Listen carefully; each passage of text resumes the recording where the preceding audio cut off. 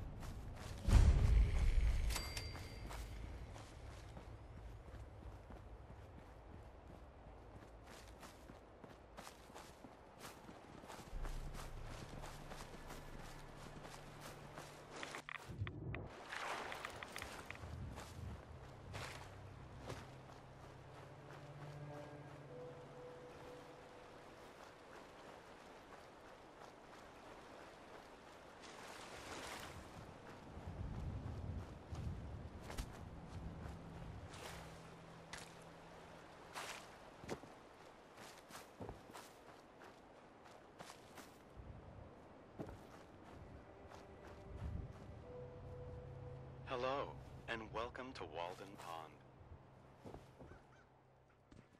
You are now standing in front of the cabin inhabited by transcendentalist writer and philosopher Henry David Thoreau, starting in the summer of 18.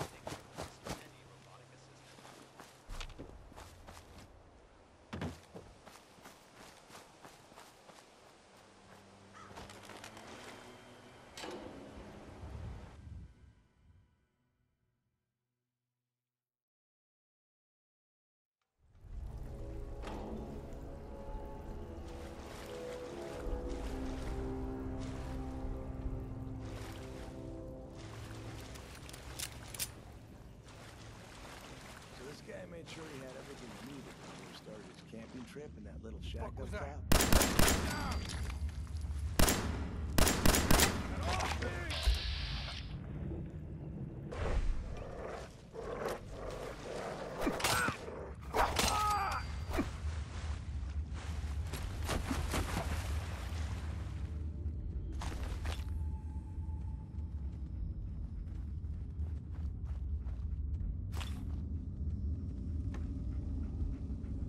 Bingo.